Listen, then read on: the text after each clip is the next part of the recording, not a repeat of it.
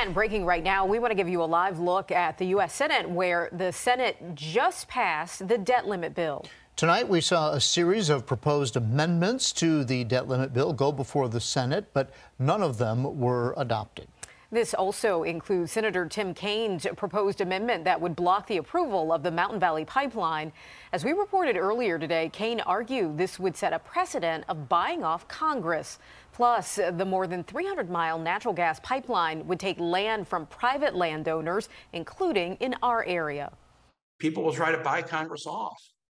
And members of Congress thinking about routes will look at real estate and say, well, here's a county where nobody votes for me. Let's put the pipeline through there. A pipeline project isn't built in the air, it involves taking people's land. That bill will now go to President Biden's desk, where it will await a final signature.